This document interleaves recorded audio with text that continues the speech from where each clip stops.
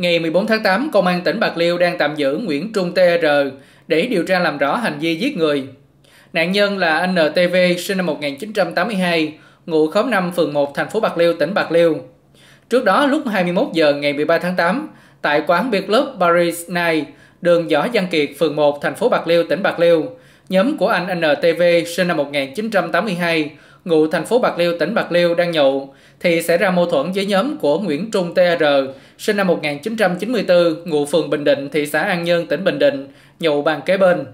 Tại đây, giữa TR đã xô xát với nhóm của V. Bất ngờ TR lấy cây dao đâm vào cổ V, sau đó người dân đưa V đi cấp cứu tại bệnh viện.